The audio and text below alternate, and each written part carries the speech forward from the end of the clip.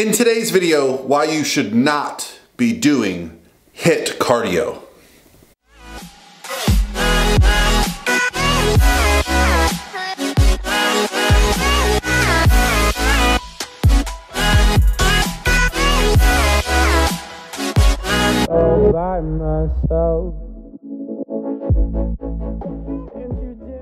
Hey guys, what's going on? This is Paul Revelia from ProPhysique.com. In today's video, we're gonna discuss the topic of high intensity interval training or HIIT cardio as it pertains to fat loss and losing body fat and getting leaner.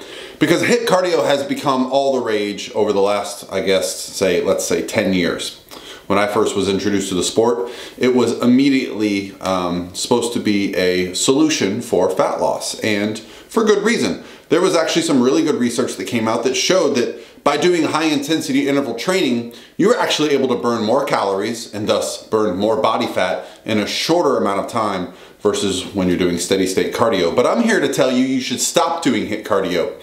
And here's why.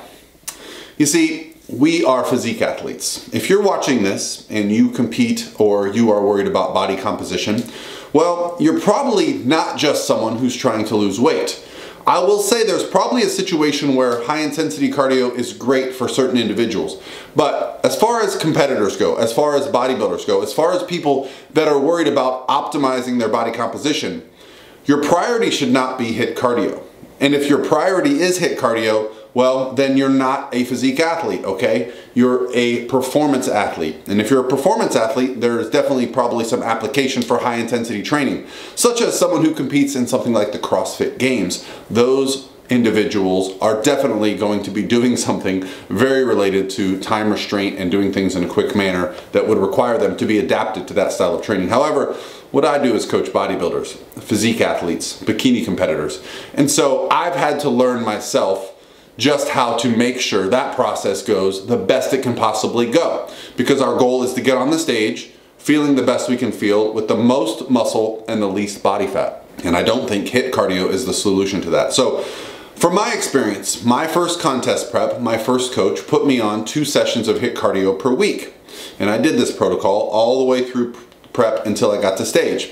And I will say there were some adaptations that occurred to HIIT cardio. Now my protocol was to do a 10 second all out life or death sprint followed by a minute of recovery and then I would repeat. And eventually I got up to doing 15 seconds all out sprint with up to two to three minutes of recovery between and then repeating. And I think the most intervals I ever did in a single session was 10. Now that doesn't sound like a lot, but if anyone here has ever done proper HIIT cardio, life or death sprinting, you literally cannot breathe. And I've done videos on HIIT cardio and how to do it properly, but a true interval of HIIT cardio is exhausting, okay? And here's why I don't believe it should be used in contest prep anymore, especially as we get to the closer stages of getting to stage. Because while high intensity cardio is great for burning calories, it's not great for recovery. That's right. High intensity cardio is very, very tough to recover from.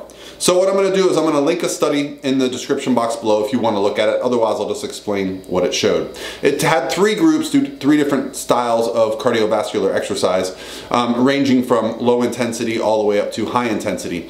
Now, what they found was that all groups across the board improved in equal amounts.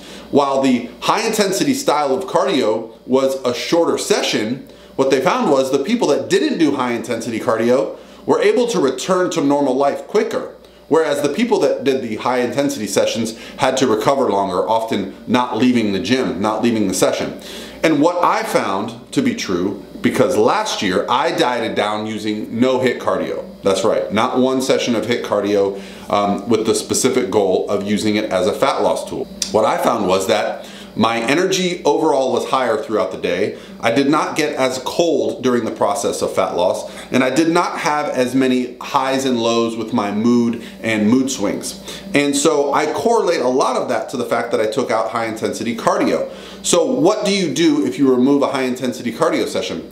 Well, what I found is if you just go back to the old school bodybuilding literature, people would do low intensity steady state. Now, what do we know about cardiovascular exercise? We know that the fuel source that our bodies use during a cardio session is most closely associated with the intensity of that session. So the low intensity cardio that we're doing the primary fuel source for that is going to be adipose tissue or fat. A high intensity cardio session, during that session, the primary fuel source is glycogen, muscle glycogen, okay? So you're depleting that. So why would we do high intensity cardio instead of steady state? Well, it was postulated that by doing high intensity in a shorter amount of time, and then you have what's called EPOC, the excess post-exercise oxygen consumption, during that time you would be burning body fat. Well, the problem is during that recovery, during that EPOC process, you feel like crap. So I found what I was doing oftentimes was doing a lot of HIIT cardio and laying on the couch all day. Whereas if you just do steady state, which might consume some time, yes, I did up to 60 minutes a day of walking. Walking, people, it's not that intense. When you're done walking, you're not exhausted that you need to go lay down. You just go back to your normal activity. So although it's time consuming, well, we have some fun technology now. I can make some phone calls, I can get on my Netflix, I can watch YouTube videos while I do cardio. Is that what you're doing right now? Comment below if you're watching this while you do cardio. No, I'm serious. I'll wait for you. So that's my point, guys. My point is that just because HIIT cardio might have some other benefits, if you are a physique athlete who is training hard in the gym, you're lifting weights, you're crushing it, that should be your primary focus. Cardiovascular exercise should be used to create a caloric deficit and not impact your training, not impact your progress. So I've found a few benefits from not doing any HIIT cardio. I was also much, it was much easier for me to maintain my weight post show, okay? Because the one thing you never wanna do after a show is HIIT cardio. You're just, it's too exhausting. It's almost stressful to think about HIIT cardio.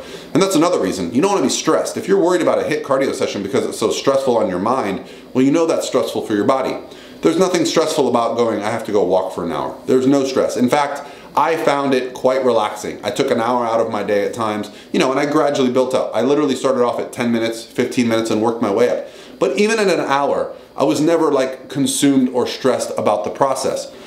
And that's a part of this, okay? That's something we have to consider, is that what are we doing that's best? What are our priorities? Our priorities are to keep muscle, build muscle. So why would we do a cardio session that depletes glycogen, that leaves us exhausted all day, when we can go train hard with weights, do some low intensity steady state, get the best of both worlds, get shredded, and feel great. All right, guys, that's it for me today. If you have any questions, let me know. I'd love to hear your thoughts on HIIT cardio. Click on the link below to read the, the, the research that I'm showing you guys, and uh, let me know your thoughts. I'll talk to you soon.